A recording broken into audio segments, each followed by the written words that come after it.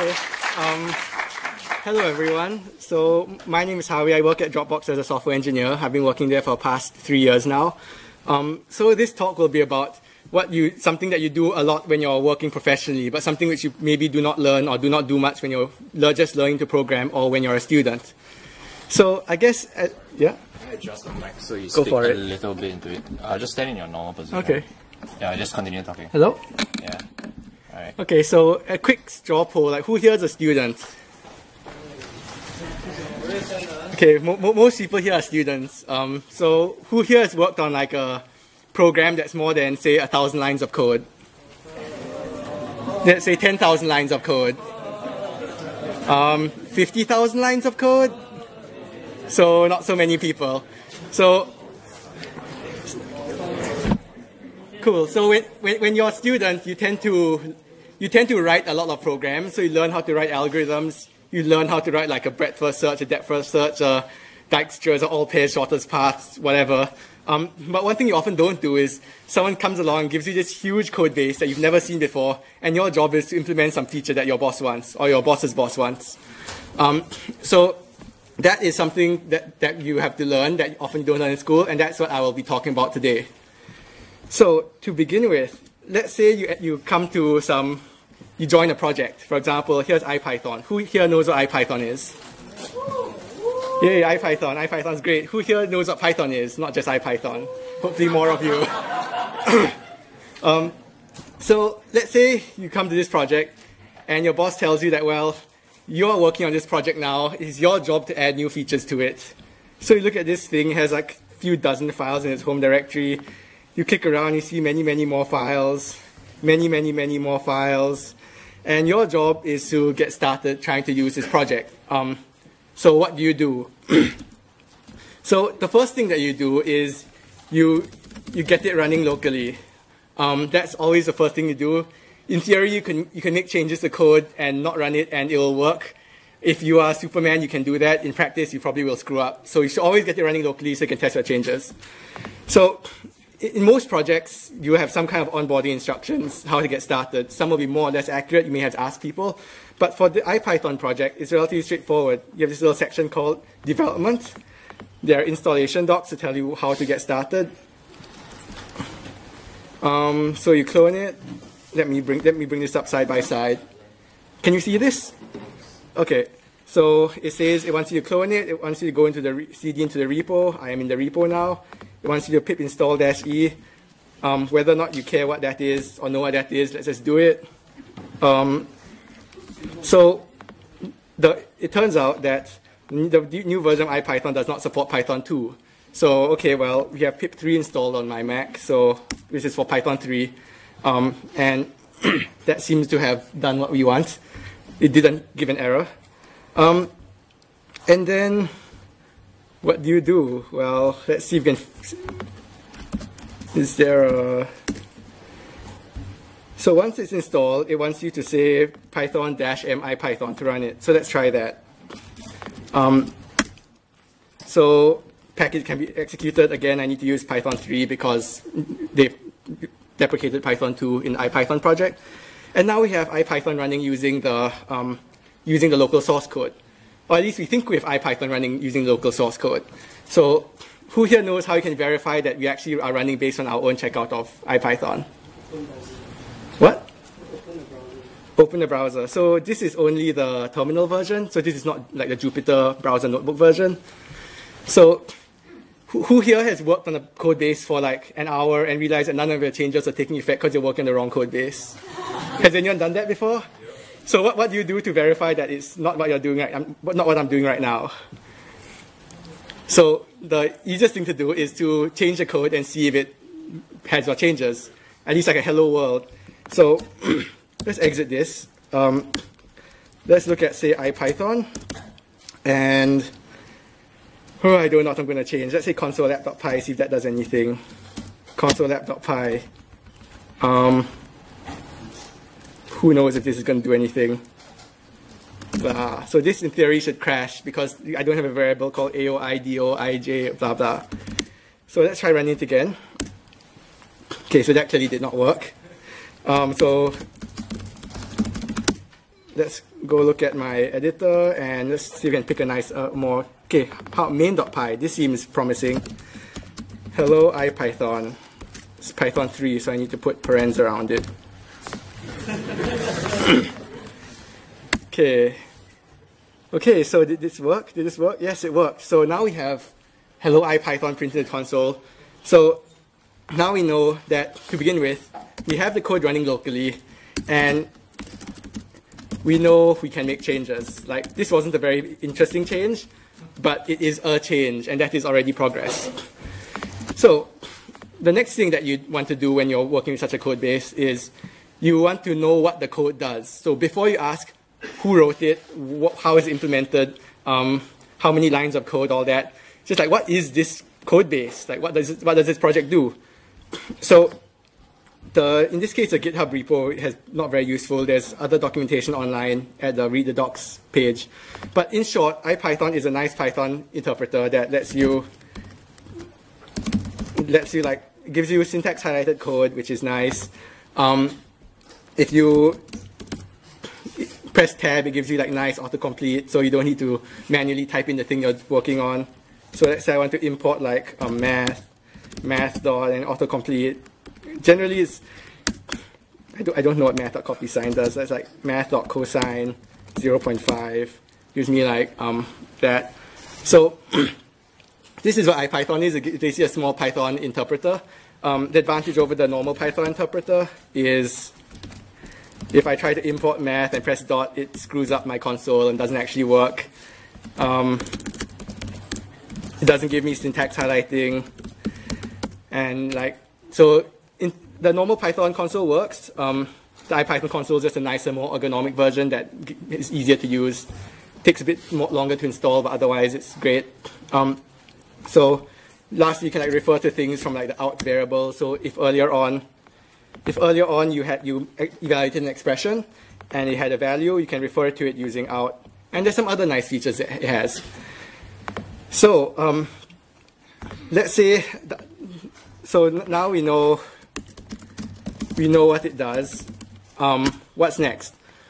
The next thing to know is to, is to decide what we actually want to do. Um, so actually, before we decide what we actually want to do, let's take a moment to explore the project. So before we think about like what we want to change uh, in IPython, let's say what is what is IPython? You know what it is externally. What is it internally? So maybe you've never seen the code before, and it would take a long time to read through like all these files. It's quite a lot of files. Um, but luckily, we have computers that can help do it for us. So like the first question is, well, you may see that you already know it's a Python application. So that's already progress. We know it's not Java. We know it's not C++. It's Python. So what else do you want to know about the Python application? How big it is. Is it 50 lines, 5,000 lines, 500,000 lines? That makes a big difference in how you approach the problem. So you can do that by using bash. So for example, here's a list, here's a command that gives you a list of all of all um, Python files. You can say that, well, how many Python files? Looking at 350 Python files. Um, that's probably not what I want to do. Never mind. Um, and how many lines of code? Well, if you use this magic incantation, you can run the ls on, you can run the word count on every file, and it will tell you that we're looking at 350 Python files with about 66,000 lines of code. So this is not small. Like most, many, most of you have not written a 66,000 line of code program before, um, but neither is it particularly large. So at work, for example, we maintain a Python code base that's not order of like a few million lines of code, and that's pretty standard. Like for example, Yelp just open sourced a project which they're using to maintain their 3 million line of code Python website. Like Yelp.com is like 3 million lines of Python code. So 66,000 lines of code is not large, not small. It's okay, medium size maybe. Um, what else do you want to know? Um, one thing that's often interesting is which parts of this code base are, have the most stuff in them. So for example, if you look at this, this folder tree, you see a whole bunch of files and you see a whole bunch of folders. Some of the files are interesting, some of the files are not very interesting. And we may want to know like, well, as a new person navigating this, I don't know what's inside this code base, but what it, where are people doing all their work? So I can't remember the bash incantation for this, but we have Google, so we can ask Google how to find largest files, Linux or bash. Um, and I think I have it. So if you go and dig through, you'll find the answer somewhere. I have it in my history. Um, fine, fine, fine. So this is a magic incantation of how to find the largest files in bash. You do not need to remember this. You can Google it later if you want to. Um, but so I run this and I look at the output and you can see that, well, it messed up on a bunch of, fo of folders which are probably symlinks or something, but whatever, just ignore those. Um, and we have the largest files in the code base. So this is interesting because if a file has zero lines of code inside or five lines of code inside, there's probably not much in there to understand. It's probably not that important. But if a file has like 130 kilobytes, which is maybe like a few thousand lines of code, that is probably something which has a lot of interesting logic inside. So where is our interesting logic? um, let's see, back up here. So IPython is interactive Python shell. So not surprisingly, interactive shell.py is the biggest file. Um, UltraTB is a pretty big file. I don't know what that is. Never mind. We don't need to know for now. Um, magic slash execution.py .py is a big file. Um, for, for those of you who don't know, um, let me make this bigger. If I open up IPython on the right to show you what it does, IPython lets you do things like ls or cd, um, like, I don't know, Dropbox, personal, and all this is, so this is not Python. Um, that's not Taiwan. C workspace, IPython. So this is clearly not Python syntax. This is not valid Python syntax. If you try to do it in normal Python shell, it'll error. So these are special commands that in, in IPython land they call magic. So it's here in the folder called magic. Um, we have Sphinx extension IPython directive. So for those of you who don't know, like if you Google it, Python Sphinx, you find that this is the documentation generator. So IPython has beautiful documentation at this ipython.read.docs.io. So they have a documentation generator that clearly they have customized quite a lot because there's 44,000, like 44 kilobytes of code in it. Um, has other stuff, autocomplete, unit tests, supports LaTeX or something, not sure, um, and other things. So now we, we've looked at this code base, and maybe we've never seen it before, but we already know roughly like what, what we are looking at. So we're looking at a Python shell that's about 66,000 lines of code, mostly in Python. The most important things are the interactive shell and like shell-related commands, and um, and IPython like and Python executing commands. So um, that's enough for exploration. So we've done so we've done this and we kind of know what it is. So the next job would be pick some kind of like, um, let's give ourselves a goal. So let's say we want to make some change to IPython. For example, um, instead of printing out hello IPython at the start when I open the shell, let's say I want to pre print out the text executing every time I start executing a command, maybe. So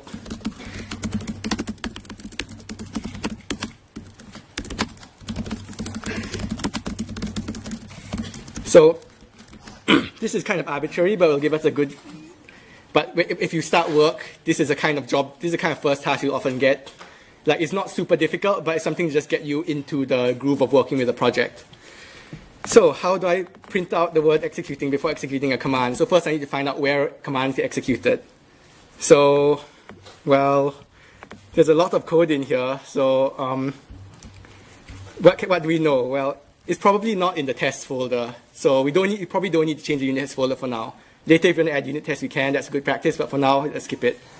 Um, if we look at the top level folders of IPython, we have core, extensions, external, kernel, lib, sphinx, terminal, testing, utils. So it's probably not testing. It could be utils. It's probably not sphinx because that's documentation. Maybe it's lib. I don't know actually. I don't actually know what that is. Um, I don't know what kernel is. I think that's to do with the browser version of IPython. External seems to be do stuff to do with Qt and MathJax, so that's probably not something we need to care about for now. Um, extensions. So I don't know what these extensions are, but if we are making a change to core IPython code base, I don't think we should we need to make a change to the code for extensions because that's usually outside the core code base. And lastly, we have core. So okay, just by looking at the top level folders, we can identify the fact that, well, we can probably look for what we want in either core, um, lib, or terminal, or utils. Um, utils looks like a bunch of stuff that's kind of IPython, I, like um, not IPython specific. So it's general helper function. So I don't think we, look, we need to look there. So just by looking at top level folders, we have narrowed down to core, um, lib, and terminal. So let's see if we can find something useful in there. Um, so the next tool that we use when you're working with someone else's code is you use grep or search a lot. So for example, I don't know what to look for, but maybe if I'm trying to execute code, I'm going, the, the word execute will be somewhere in the code that's actually executing my IPython commands. Another alternative could be maybe the word command is in the word in the code that's executing commands. Like maybe I don't know how it's spelled, maybe it's CMD, but I can search for it. So if I search for execute, um, so let me bring this, let me bring this up.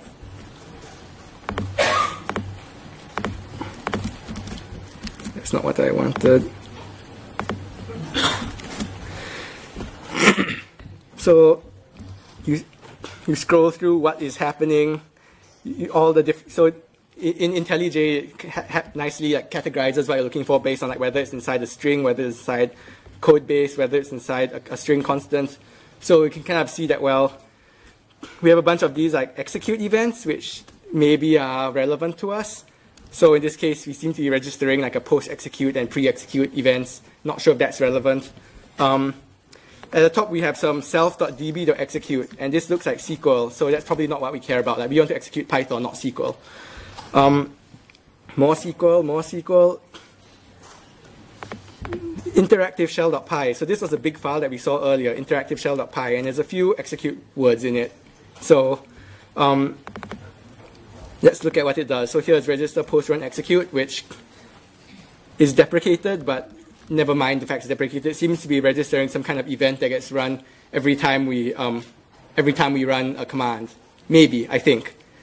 So so if you are working on this like in the terminal or in like Vim or Sublime, often the text is all you have. Um, but in a nice editor like in, like IntelliJ or any other editor you want, there are many Python IDs, Eclipse, whatever. You can like look at see, see where things come from, see what the documentation is without having to dig around too much. Um, so for example, if you want to define what event manager is, we could add event manager, and it's probably a class, so let's add class event manager. and this will tell us it's in core events.py, and we can go and we can go and search in, and we can go and search in core events.py, or if you're using a nice editor, you can just jump to it and it brings you straight there, which is convenient for making things faster. Um, so event manager seems to be, so it's infrastructure for registering and firing callbacks on application events. So that's maybe is relevant, maybe not. Um, let's go look at this register post execute command a bit. So this looks relevant, but how do we know if it actually is relevant or whether it's like a whether it's a false positive that sounds relevant but it's actually not? So again, you can search register post execute. It seems to be called nowhere. Okay, so that's probably not something that's actually used in the code base. I guess that's why it's deprecated. Um, if we go back to execute and search again, um, Well, let's not do that. So I guess the next thing to do, since that didn't work out, is to kind of just browse through the code on this interactive shell, in this interactive shell file. So this file has a lot of stuff. Um, and if you look at the bottom, it is 3,000 lines of code, which is not that much, but it's still a bit, bit much to look at at first. So if you have a, so you can you can fold the code if you're using Sublime or similar. You have an, you also have a code folding command that lets you see at a high level what is in this file. So we have this interactive shell object. Let me make this bigger. You have this interactive shell class, which sounds like the is the whole IPython shell. We have some interactive shell ABC, which is probably some abstract base class. That's what ABC stands for in Python land. we have some, like, we have execution result, which sounds promising. So this is something that seems, sounds like it'll get created every time we execute something. So we don't know that, but maybe. Um, so here we have the result of a call to interactive shell.run cell. So that seems like it's something that we may want because we want to execute code and here it's called, maybe it's, they're calling it run instead of execute. So if I look for run cell, um, so let's see, I, that brings us to here, runs a complete IPython cell. Um, let me close the search bar. So I don't know what the IPython cell is, but it's something that can be run, and it's maybe maybe it is what is your what happens when you type stuff in the console. Maybe they call it a cell. Um, again, this is not my project, so I'm kind of making this up as I go along. But this is something that you'll be doing too if you end up looking at someone else's code base. Um, so let, how do we know that this is what we, we're looking for? Well, we can print something in it and see if it actually works. So python-m Python 3-m. Um, okay, so now before each command, we can now print, some, print something. So over here I said hello run cell. Um, but if I wanted to, I could say executing dot dot dot. And if I close this, run it again. Um,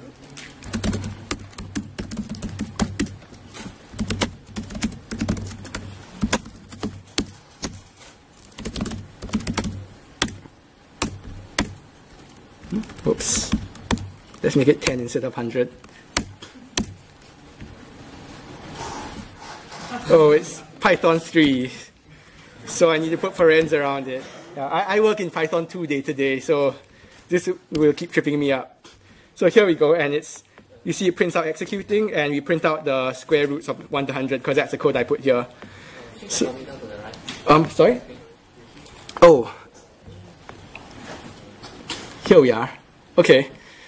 So okay, so that's the first like thing that you that, that we've managed to accomplish. So what have we learned from this? Um, so let's maybe make a, let's see what tools we have for us. We have searching for things, and we have guessing, and we have print. Um, so in reality, this is often what you'll be using when you try to work with the unfamiliar code base. Um, if you if, if you've done it a lot, then you may find you may want to use, like, for example, there's a debugger which you step through the code. Um, or there are other tools which you instrument the code to plot out like nice control flow graphs of what the code, what the execution looks like. But at first, you often don't know what in the world is going on. So the best you can do is you guess, you search for something, you guess what you want to search for, and you kind of put print statements, which is very important. You put print statements to verify what, what, your, what, the, what, your, what you think you're running, you're actually running. Like the, the first file I found, I put print statement, I wasn't actually running it. So if I put like, if I spent an hour working in that file and nothing was happening, then that would have just been a total waste of time. So make sure you validate early on that I think this is something that's running and it is, I need to make sure. Okay, so let's try to make this a bit fancier. Let's say I want to, let's say I want to echo the lines of code that are actually being run rather than just having a hard-coded executing um, print. So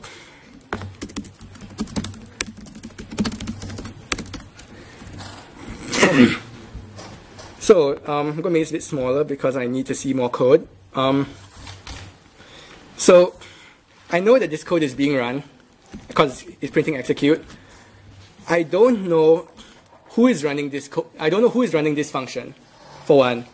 And I don't know what the arguments to this function are being called, what the arguments this function are being called with.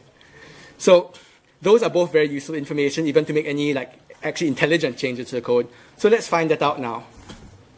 So the simplest way is to print everything. So raw cell, um, store history, silent, sell futures, don't know what that is. Maybe sounds like some stock market term. Um, and let's make that run. So one, two, three. Okay, so the this is print raw cell PLC one two three, and if you don't know whether it's a number one two three or the string one two three or some other object which has the name one two three, um, I can call type on it. And I'm just going to call type on the others just to be sure. So you can you can never be sure you can never be too sure that what you are seeing is actually what you think you are seeing. Um, like maybe some maybe some jerk went and made a function made an object that two string is called like true, but it's not actually the true object, which can happen. So maybe you think it's a boolean, but let's verify it's actually a boolean.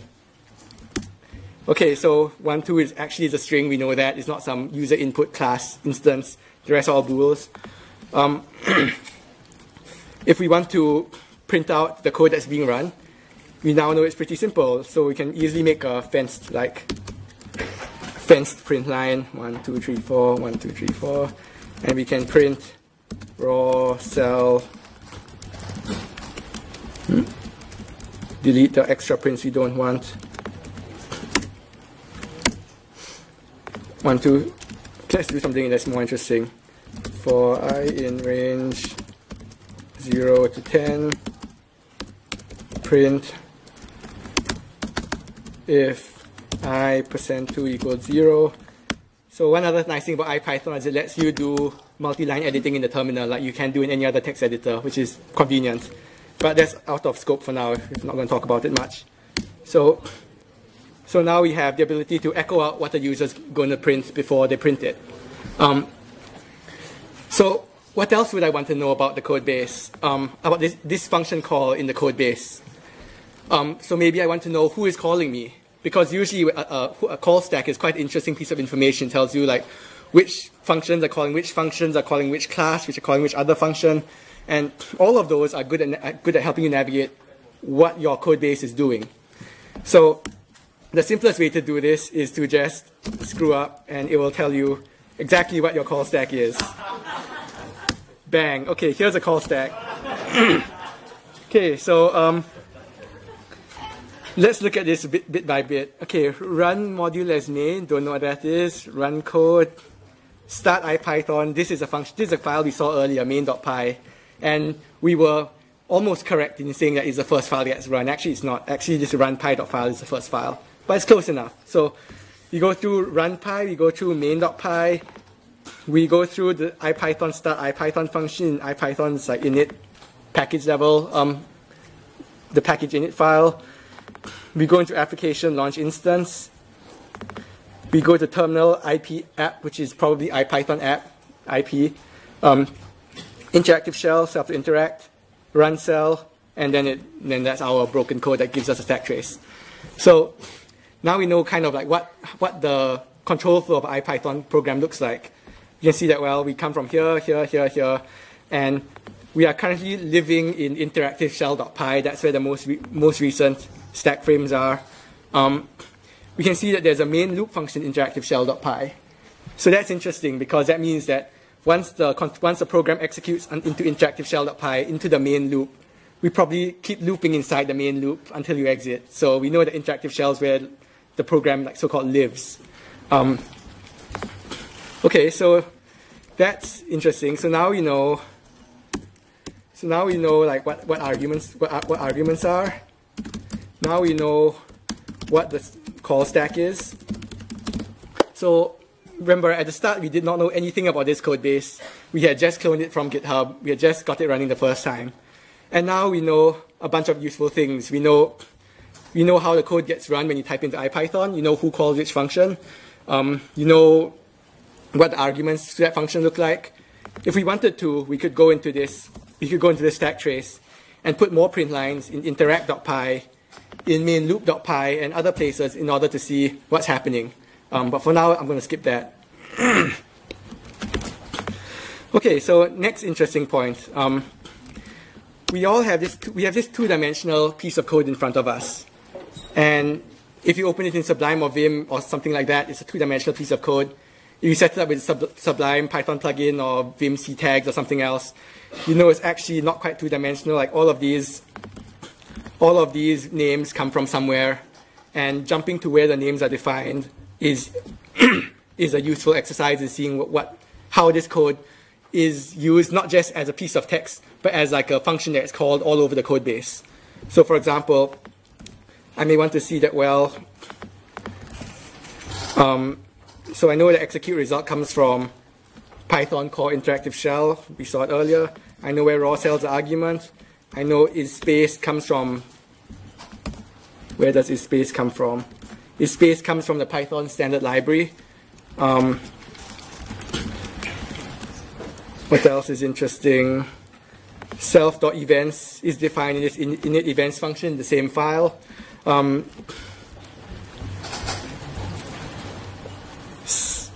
pre-filter manager. So that sounds like a very enterprise grade like piece of code. So pre-filter manager is also in, in init pre-filter in the same file. And so we know that this is not just a piece of code that's like a characters in a file, but is a graph where each of these names points to somewhere it came from. And if you want to know anything more about any of these names on screen, you can go look for it, whether it's by jumping to definition in the editor, or whether it is by going to the terminal and typing something like ack to find all the usages. So both of these are valid ways of doing things. Um, it's up to you which one you prefer. so you have two-dimensional code. You have this graph of the history of what the code, so not history, you have the graph of the um, definitions of where these all these names came from. Um, so the last thing that is interesting, the last thing that's interesting is the history of the code. So this is something you don't really care about when you're working in a school project, but code is not just a file. Code is the work of everyone who has put something into this code base. So all the work of like hundreds of committers has gone into making this file you see in front of you, and you can see it. So one easy way is if I look at git blame ipython, who is it? Core, core interactive shell.py You can see it, like who wrote which line of code, um, and it like pages it for you. And this is kind of a pain in the neck to read, so I don't like doing it here. If you are using third-party software like SourceTree or some other Git um, UI application, it makes it a lot prettier and easier to navigate. Um, in this case, the, the, editor has its own has its own UI, so you can see that this piece of code isn't just a function. This piece of code is a function that's mostly written by this Thomas Kluyver person but not just by him. We see fixes, we see fixes by Matthias Bussonnier. Um, we see that this Volker Braun person added um, added a try. Looks like he added a try catch block. So why did he add? So he added a try catch block, and why did he add a try catch block? If you can't read it, it says also catch syntax errors from input transformers in run cell. So the and the run cell method is not used in IPython terminal, so there are two code paths where the syntax error needs to be caught. Also, the commit moves the terminal test, blah, blah, doing some stuff to make the test, to clean up the test suite. Um, I've checked that this works in the, in the terminal, the Qt console, and HTML notebook. So this is the kind of history that a piece of code has that's not obvious for someone who just graduated from school, but it's very, very important to someone who's working in a code base that they did not write. So as someone who just came in looking at the text file, I do not know why we have a try-catch statement here. Like, is it obvious that this thing can show an exception? Maybe it is, maybe it's not, I don't know. Um, but once you look at the history of the code, you can see that each of these lines of code has a little story behind it of why the piece of code is as it is. So we can, we can go on and see, for example, um, so th this single line of code here is written by someone called Benjamin Ragan Kelley. I, I don't know these people, so this is just a person, but they added the silent keyword argument to run cell, and presumably it's in order to like shut. It looks like it's to shut up the logging in cases where he didn't want it. I don't know why they wanted to shut up the logging, but it's a thing. Um, over here, we can look at um, Matthias Bussonnier, which says use generic show traceback instead of show syntax error. So that is maybe not a very interesting error, uh, commit message. We don't know what that is. But very helpfully, he has the task ID. So IPython task number 9199 was fixed by this change. So if you want to look at what this change was, okay, this change was pretty straightforward. We can go look and see if we can find IPython task or bug 9199. And we can see that, well, here is a bug where it seems that if we register a custom, custom exception handler, um, it gives the wrong kind of error that we would versus some other kind of error that we'd want. And this is discussed quite thoroughly in this bug report. And even so, even though that, even though that this person, Matthias Bussonnier, did not write a very detailed commit message, he didn't have to because this code is not just the code that lives on, in a file or the code in the repo, but also all the history and all the discussions that went into, into building it. So this one line of code, this or, or this four lines of code, in this case, was the result of like four pages worth of discussion in addition to the work that he did into investigating it. So the last thing I'm going to show you about the history of the code, that show, that, about how, why the history of the code is useful, is that we can see that we can see all the changes that people made in each of these commits. So for example, when Mr. Volker Braun went and caught syntax errors from input transformers in run cell, like why, why, he wanted to do that, we can see that he added uh, documentation. So clearly before this, it was not clear that it may raise a syntax error. And he added the co comment saying that yes, it can raise a syntax error. Um, he of course made the change to add the try catch. So it looks like previously it was a single line of code, and now is a single line of code wrapped in a try except with some error handling reporting code. What else did he do? He seemed to have made a small change to these two lines of code. Um, so this is a bit mysterious. I do not know why he made ch this change. So he seems to have replaced a pre-filter failed, false, and a check for the length of the lines with a if not pre-filter and a check for length of the line. So this is a bit mysterious. I don't know why he did that. If we cared, we might investigate it more, but for now, let's ignore it. He added, or he modified some of the tests. So it looks like he added a new syntax error test. So so given this syntax error transformer and this IPython code, which you could run yourself in the IPython console, um, typing in these commands should apparently now result in a syntax error and not whatever it was before. So this is something that we did not know before, now we know. Um, we could, if we wanted to, we could reproduce, run the test locally, or check out the original version before this diff and run the test to see what the behavior differs. He similarly added the test to, to the interactive shell test suite, and he created a new test file inside terminal tests in which he tests more or less a similar thing. So this is a history for this one line try catch exception and tells you like what this person was trying to do, why he was doing, what problems he was trying to avoid, and how he made sure that the problems don't come back in future. So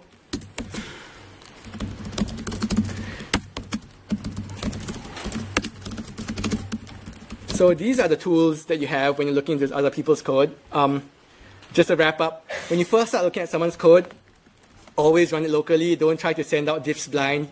No matter how smart you think you are, you will make a stupid mistake and people will laugh at you. Um, make sure you know you can make a change. Don't accidentally be working on a file for like two hours and realize it's the wrong file that's not doing anything. Um, make sure you know what the project does. So from outside point of view, what, the, what in the world is this project? Why does it exist? Make sure you know that look through the project, like look how, how big is it, what are the main files and folders, how many files in each folder, how big are the longest files, which are the biggest files, all those are important. A small goal and make, make it happen. So if you join the company, the chances are whoever's helping you mentor you for the first week or first two weeks will pick this goal for you because they will know more than you about what's easy and what's not.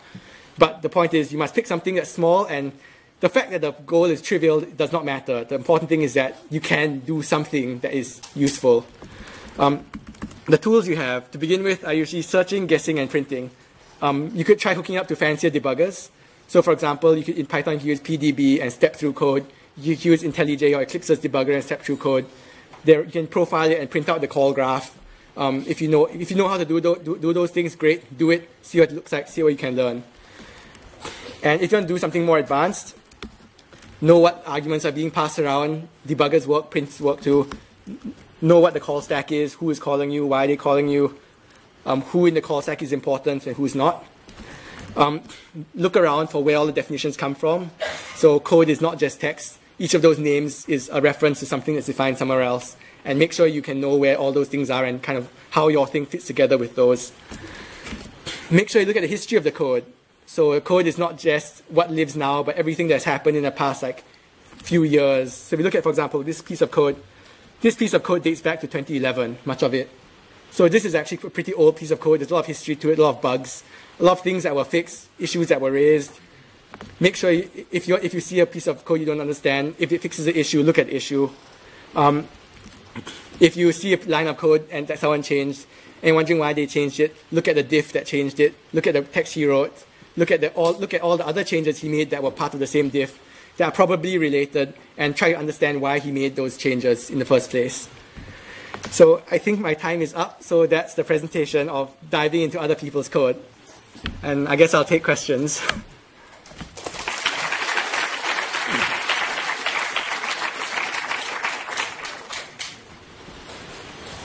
Questions?